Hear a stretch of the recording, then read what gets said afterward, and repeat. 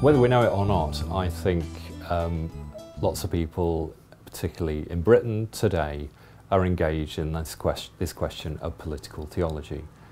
If you have been reading newspapers and been wondering what does it mean to be British and British identity, if you've wondered what does it mean to hold together British society around this phrase called community cohesion, then you're part and parcel of a serious international debate about religious identity and unity.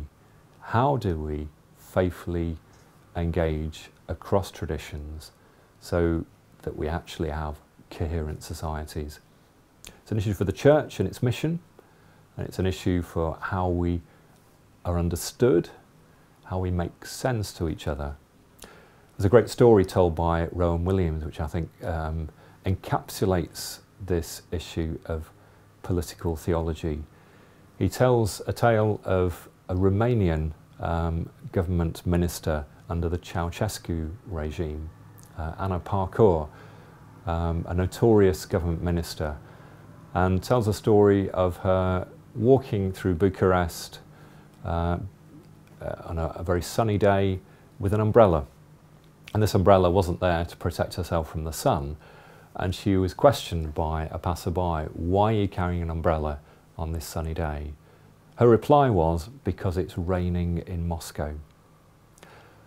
And it's a typically witty Rowan Williams story that highlights two big questions. Religious people bring to the fore something of elsewhere. There is a view from elsewhere that they bring to present realities. For Anna Pauker, it was Muscovite communism dictating how she should live in Bu Bucharest. For Christians, it's the world of the Bible and Christ's Lordship. The challenge of that story is actually how does our politics from elsewhere make coherent sense in the world today? For Anna Pauker, it was a parody. It was something that was ludicrous and nonsensical. For Christians, some of our politics can be done in a way that doesn't make sense. The question is, how much translation should we do? How do we stay faithful but stay a community that can contribute to the wider good? This goes to the heart of political theology. I got into this whole area um, in a very practical ministerial context. Um, involved in Christian ministry, I'm a, an ordained parish priest in a Muslim majority area. What does it mean to be the church amongst a people where religion is political, where religion is very public? That's something that's integral to Muslim identity. And as I explored this, what does it mean to be a Christian and political? Because a key accusation to the Christian faith from Islam is that your religion is privatized. It's just a, a Sunday rite. I then began to explore some of the key moves in at the end of the 20th century, beginning of the 21st century, towards a political theology, a rediscovery of ecclesial politics. For me, it's an area that is not just live for the church, it's uh, pressing, particularly for the Western church, where we're increasingly conscious of religious difference. We're in an age that's post Christian, but it's not secular. Jürgen Habermas would describe Western culture, um, particularly Europe, as post secular. Um, Christianity has been a, a dominant framework in a country like Britain.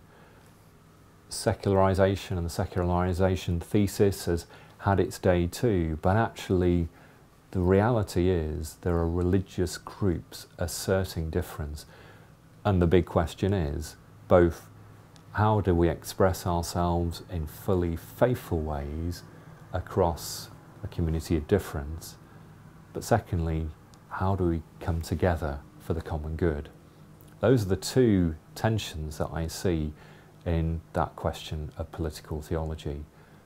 And it's brought me to explore this unusual political theorist, Carl Schmitt. Unusual and controversial because his ideas as a, a Nazi apologist um, actually are deeply repellent. But he's put his finger on some key thinking that resonates with a, a recovery of Augustinian political theology, a traditioned political theology that seeks to explore politics from within a framework of Christian mission and salvation history.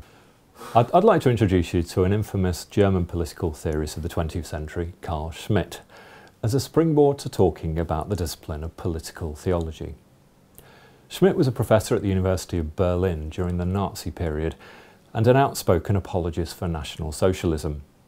His philosophy of law and the character of the state provided an ideological underpinning to Nazism and anti-Semitism. It seems strange to consider Schmitt's ideas with all their deeply repellent connotations for a timeline series on theology, but his thinking has generated conversations that continue to this day amongst political theorists and theologians that have energy even into the 21st century. It is some of Schmitt's core ideas and questions and how they resonate with a wave of specifically political theologians that I shall be attending to. Schmitt has been described as the German Hobbes of the 20th century. So Thomas Hobbes, who wrote the classic Leviathan, the first textbook of modern political theory during the 17th century, was looking to give an account of a strong state that could hold together, as he saw it, the warring tendencies of a chaotic humanity. Hobbes is probably best known in the popular imagination for the quote from his book Leviathan that life in its natural state is solitary, poor, nasty, brutish and short. Schmitt was building on this very pessimistic view of the world from some explicitly theological roots out of his Roman Catholic upbringing about sin and the consequences of sin for the division between peoples. He outlined his theories with allusions to the enmity between woman and the serpent in Genesis and the Tower of Babel. The purpose of the political, then, for Schmitt is to provide a locus for unity, balanced with a clear sense of who the state is against as a buttress to that unity. This is what he calls the Freund Feind distinction, the friend or foe approach to politics. In the same way that Hobbes was attempting to address questions like what gives legitimacy to government and binds us together in the aftermath of the English Civil War, so Schmitt was engaging with similar questions for a debt-ravaged Germany dealing with the settlement of the League of Nations after the First World War. The theolo theological impulse of Schmitt's thinking was essentially a critique of modern liberalism. Difference between groups could not be obscured, and the false unities of a League of Nations would only lead to chaos. Liberalism aspired to neutrality and optimism and was thus inherently theological because it espoused a myth of perpetual peace, in contradiction to the Christian anthropology of sin. Difference needed to be acknowledged and affirmed, and alliances fostered only in the heightening of who the other, the enemy, were. It's not difficult to see then how this political theory could become a theoretical basis for the scapegoating and persecution of Jews in Nazi Germany. In Schmitt's analysis, the true state takes on theological character when it admits judgment outside the rule of law. This is what he describes as the state of exception. This power is the true mark of the sovereign, of deciding a matter outside any mechanism of accountability.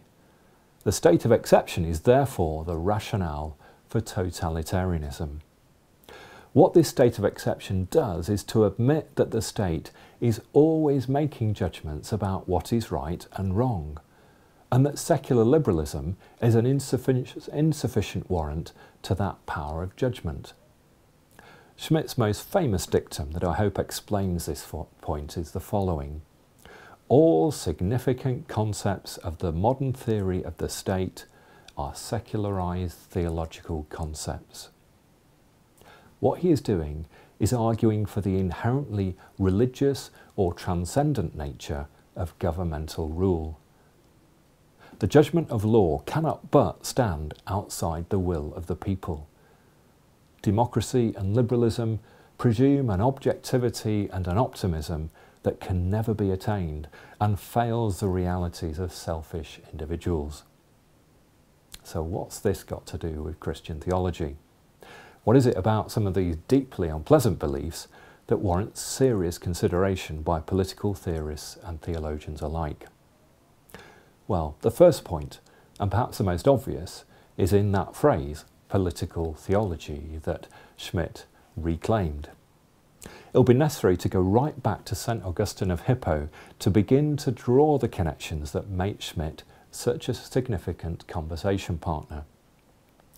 Political theology is a phrase that has its origins in the philosophies of the classical Greek city-states, the polis of the common good that we see in the writings of Aristotle. These ideas flowed through into the Stoic philosophies of Rome, who distinguished the gods of the city from other gods and theologies. It is this thinking about the theological nature of the city that provides the counterpoint to Augustine's seminal treatise, The City of God, at the beginning of the 5th century. Augustine's classical political theology articulates the doctrine of the two, the idea that there are two cities, the city of God, ruled by love of God, and the city of man, the earthly city, ruled by love of self, and therefore having the need for coercion. The city of God is eternal, and the city of man is mortal. The key concept that Augustine describes for the purpose of political